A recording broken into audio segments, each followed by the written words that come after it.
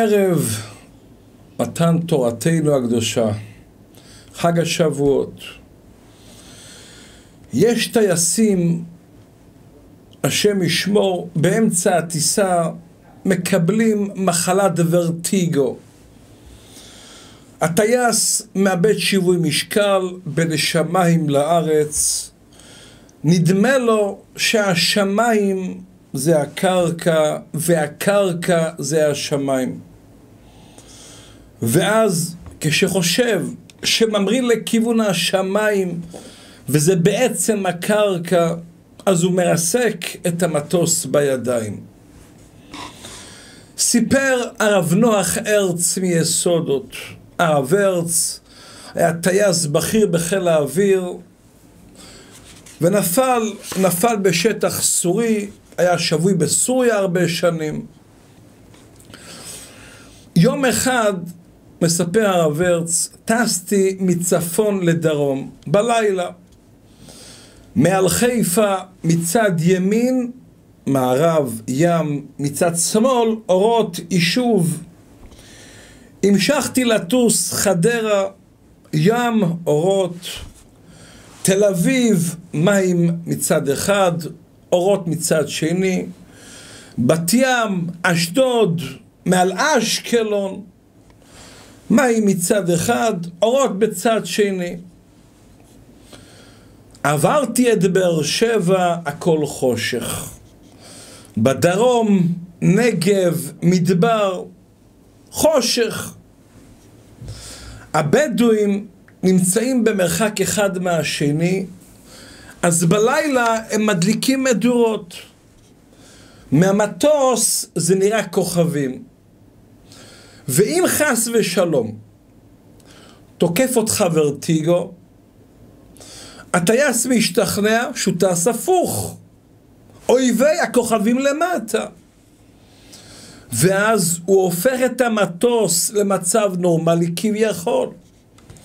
ואם הוא ממשיך לנסוע כלפי מעלה, שזה בעצם כלפי מטה, הוא מתרסק. מה עשו טכנאי המטוסים?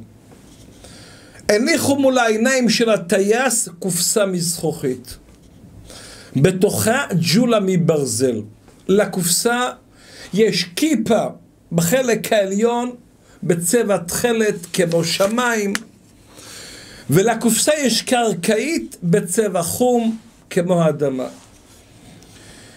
אם המטוס ישר, הג'ולה בקרקעית. ואם המטוס הפוך, הג'ולה צמודה לכיפה למעלה. נו, עכשיו שהמטוס הפוך, הטייס רואה שהג'ולה נמצאת למעלה, בתקרה, ולכן הוא חוזר מיד למצב תקין. מה קורה לטייס עם הוורטיגו? הוא אומר לעצמו, איזה מזל רע יש לי היום. גם אני לא מרגיש טוב, וגם הג'ולה השתבשה. אני טס ישר, למה, למה הג'ולה כלפי מעלה? וכשזה קורה, למוחד בעיתון, טעות אנוש. המטוס מתרסק. הסיכוי היחיד לשרוד, מזניקים לעברו טייס חבר קרוב. הוא מתקרב אליו במטוס נוסף, אומר לו בקשר, מוישלה, צביקה, אתה לא מרגיש טוב. אתה בוורטיגו, סרק אחריי. לא תסור ממני ימין ושמאל. לוקח אותו למקום מבטחים, מוישי תסתכל, אורות למטה, חושך למעלה, חושך למעלה, השמיים למעלה. ואז החולה נרגע. מספר הרב ארץ, הרב ארץ, הזניקו אותי פעם לכיוון חבר שחלה בוורטיגו. דיברתי איתו בקשר, הוא נצמד אליי. ברוך השם, הגענו למקום מבטחים, מקום שלו. אחרי זמן נרגע, הכל הסתדר. אמרתי לו, מוישי, ידידי, הכל בסדר? very very good, הכל בסדר. מוישי, אפשר להיפרד? כן, אני מרגיש מצוין. נפרדנו, חזר לו הוורטיגו, אחרי כמה דקות הוא התרסק, השם ישמור ויציל. אומר הרב ורץ כל כך נפלא. אנחנו כולנו חולים בוורטיגו. הרגשות שלנו, הרצונות שלנו, הופכות לנו את כיוון המחשבה. וזה פוגש אותנו על, כל צד בחיים. רגע, אבל יש לי שכל, יש לי כישרונות, יש לי הרבה שכל. מה, אין לי לב? יש לי לב. התשובה היא נכון. אבל אם יש ורטיגו, אני רואה את הכל הפוך. אני מקבל על עצמי החלטה מה ללבוש, איפה להסתכל, איך לדבר, עם מי לדבר, למה להקשיב, למי להקשיב. אני חושב שאני מספיק חכם, יציב, ויודע מאוד מאוד טוב מה טוב בשבילי. אמת.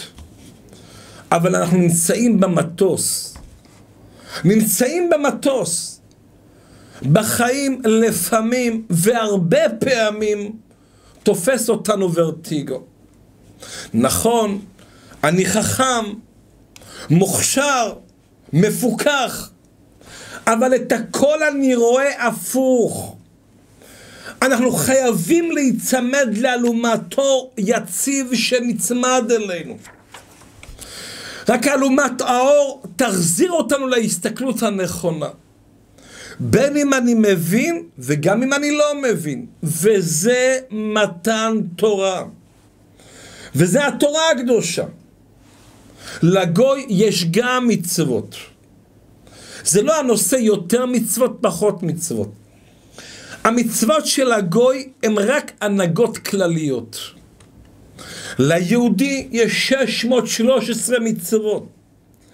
ענפים עד אין מספר. הדרכות מפורטות על כל הנהגה, על כל דיבור, על כל מחשבה. מתי כן ואם בכלל. איך לישון, איך לאכול. מה קודם למה בחיים, לא תמיד אפשר להספיק את הכל. סדרי עדיפויות בחיים. אנחנו בלי התורה עמוק עמוק בתוך הוורטיגו. וזה השמחה הגדולה, חג מתן תורתנו. עלינו להיצמד לתורה הקדושה. לחכמי התורה, שרק הם יודעים איך לפרש את התורה הקדושה בלי הוורטיגו. שיהיה לכולנו חג שמח, חיים מאושרים, ערב טוב, ערב טוב ומבורך.